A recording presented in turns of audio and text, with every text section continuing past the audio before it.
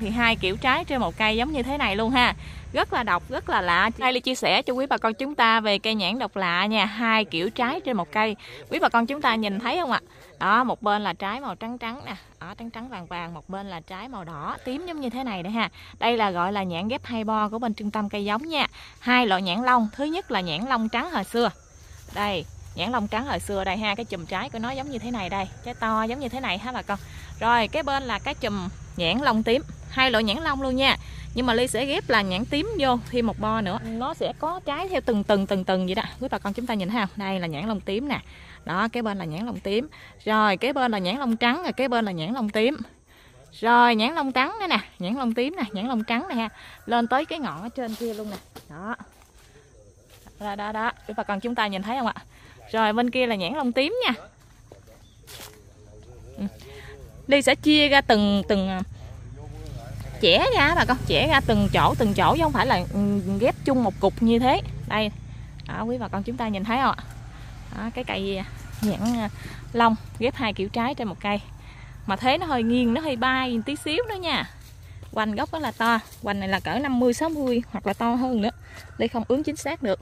Nhưng mà hai màu trái ở trên cái cây như vậy là thấy độc lạ rồi nè. Như vậy là đủ ăn tiền rồi nè. Đó đủ cho mọi người trầm trồ chưa ha? Rất là đẹp trái rất là sai nè. Quý bà con chúng ta nhìn thấy không? Hai màu trái trên một cây. Nhiều anh chị mà à, thấy ly hay quay nhãn à, ghép hai bo á, là không có thấy được cái hai cái kiểu trái nó xuống một lúc giống như thế này. Thì hôm nay vô mùa nhãn này nha bà con thì hai kiểu trái trên một cây giống như thế này luôn ha. Rất là độc rất là lạ. Chiều cao của cây này thì cao khoảng à, 3 đến 4 mét nha. Trên cây đang trái xum xê giống như thế này nhưng mà cái mùa nhãn nó gần chín rồi nếu như anh chị là chúng ta mà thích trồng nhãn hai bon giống như thế này á thì hiện tại bây giờ thì bên ly còn trái giống như thế này trên cây nha. Còn thí dụ như anh chị là chúng ta xem cái video mà khoảng thêm một tháng đến một tháng rưỡi nữa thì không còn trái nha. Chúng ta dưỡng lại tới mùa sau nha tại vì cái đợt trái này nó chín á. Nhưng mà nó rất là nhanh cho trái nha nó rất là nhanh cho trái. Riêng về nhãn um, lông tím á, hầu như là nó sẽ ra trái quanh năm. Đó này là nó sẽ ra hoa nữa rồi nè. Nhưng mà nhãn lông trắng thì một năm nó chỉ có một vụ thôi ha. Nên uh, à, quý bà con chúng ta đợi năm sau thì nó mới có hai kiểu trái trên một cây giống như thế này. Đó hiện tại bây giờ thì đang có hai kiểu trái trên cây. Rất là độc rất là lạ luôn. Quý bà con chúng ta nhìn thấy không?